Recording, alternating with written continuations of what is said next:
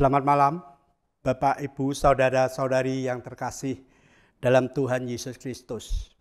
Kita bertemu kembali dalam program Mari membaca Alkitab bersama. Mari sebelumnya kita berdoa dulu. Bapa kami yang ada di surga, terima kasih untuk penyertaan Tuhan sepanjang kehidupan kami. Engkau juga sudah menyertai kami sepanjang pagi hingga malam ini dengan segala aktivitas yang kami lakukan.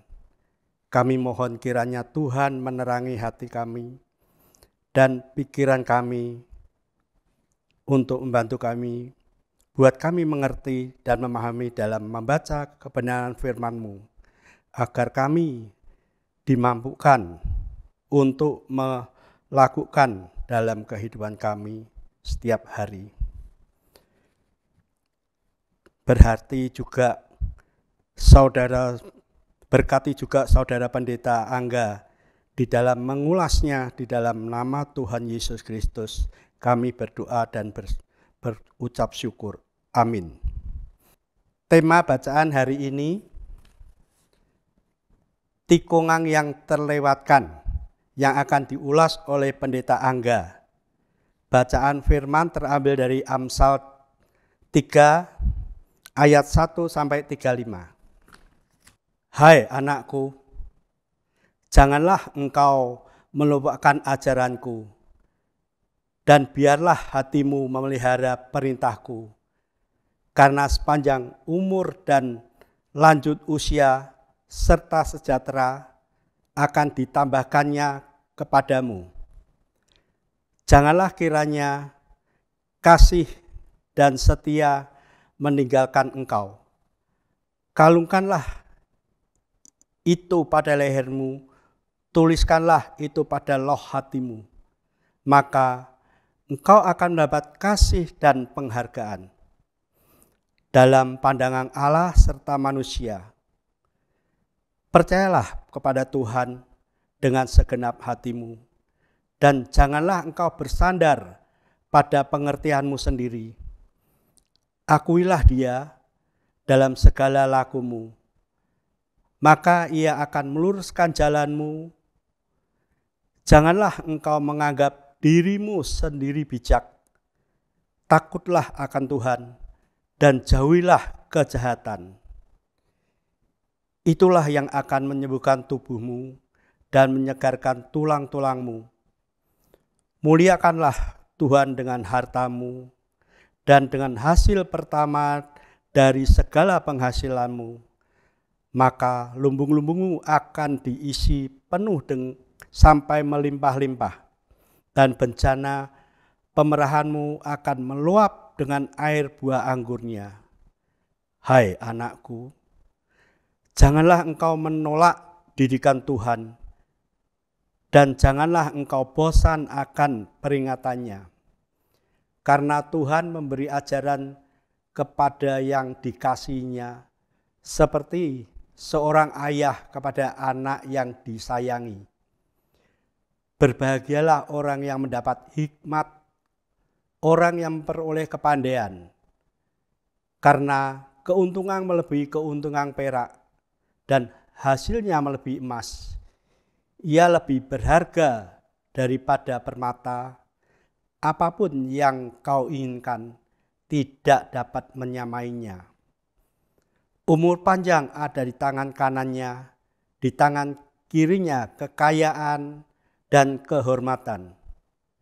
Jalannya adalah jalan penuh bahagia. Segala jalannya sejahtera semata-mata. Ia menjadi pohon kehidupan bagi orang yang memegangnya.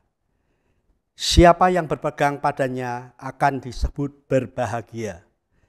Dengan hikmat Tuhan telah meletakkan dasar bumi dengan pengertian ditetapkannya langit. Dengan pengetahuannya air samudera raya berpencaran. Dan awan menitikkan embun. Hai anakku, Janganlah pertimbangkan dan kebijaksanaan itu menjauh dari matamu. Peliharalah itu, maka itu akan menjadi kehidupan bagi jiwamu dan hiasan bagi lehermu.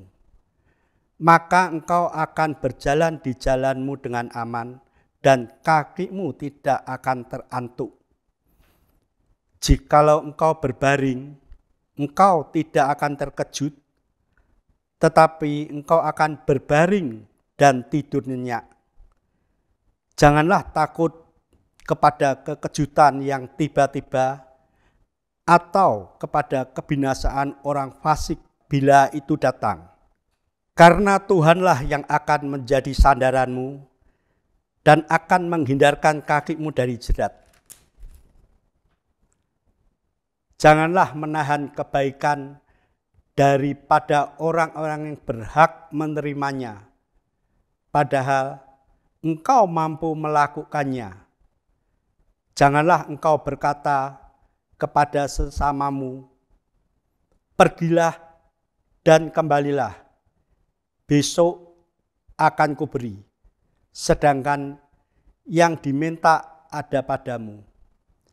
Janganlah merencanakan kejahatan terhadap sesamamu, sedangkan tanpa curiga ia tinggal bersama-sama dengan engkau. Janganlah bertengkar, tidak semena-mena dengan seseorang jikalau ia tidak berbuat jahat kepadamu.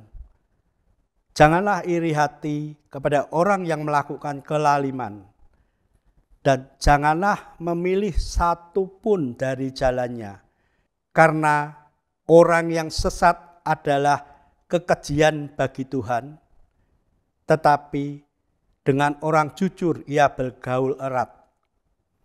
Kutuk Tuhan ada di rumah orang fasik. Tetapi tempat kediaman orang benar diberkati. Apabila ia menghadapi pencemooh, maka ia pun mencemooh. Tetapi orang yang rendah hati dikasihaninya. Orang yang bijak akan mewarisi kehormatan tetapi orang yang bebal akan menerima cemoh. Demikianlah firman Tuhan. Syukur kepada Allah. Bapak Ibu, saudara-saudari yang dikasihi Tuhan, Jerman Silva mengalami sebuah pengalaman yang menakjubkan. Pelari berusia 26 tahun dari Meksiko ini sedang berlomba dalam New York City Marathon tahun 1994 Perlombaan ini merupakan sebuah perlombaan lari sepanjang kira-kira 42 km. Saat sedang berlari, ia tersesat untuk sementara waktu. Dengan hanya 6 km lagi tersisa, Silva kehilangan arah dan keluar dari jalur lomba. Ia terlewat belokan yang seharusnya diambil dan mengambil jalan lain yang salah tampaknya Silva tidak akan pernah kembali ke jalan yang benar. Namun, seorang polisi mengarahkannya kembali menuju jalur lomba. Ajaibnya, Silva berhasil memenangkan lomba dalam waktu 2 jam 11 menit 21 detik. Mengalahkan teman berlatihnya, Benjamin Paredes, dengan selisih waktu hanya 2 detik. Akhir lomba tersebut merupakan akhir yang paling ketat dalam sejarah maraton kota New York. Apakah saudara pernah tersesat selagi mengemudi atau salah arah saat mencari-cari alamat rumah seseorang? Atau dalam maraton rohani, saudara dengan Yesus, saudara juga pernah tersesat? Apakah saudara pernah keluar dari jalur firman Tuhan? Apakah saudara pernah merasa bahwa saudara mengambil jalan yang salah dan keliru dalam kehidupan rohani saudara? Apakah yang membuat saudara keluar dari jalur itu?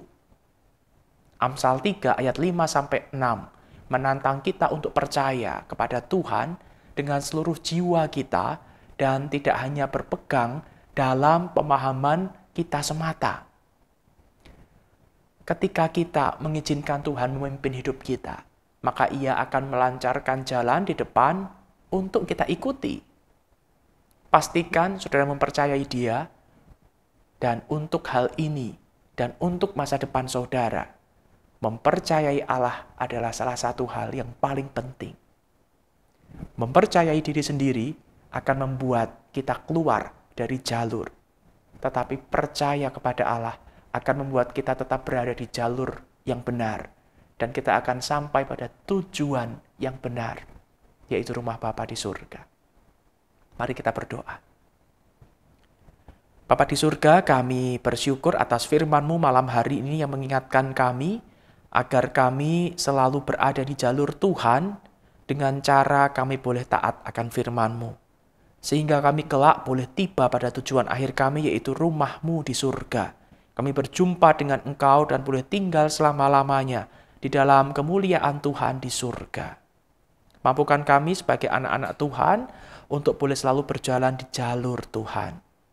Dalam nama Tuhan Yesus kami berdoa. Amin. Selamat malam, selamat beristirahat, dan esok pagi boleh bangun dengan segar untuk kembali berjalan di jalan Tuhan. Tuhan memberkati.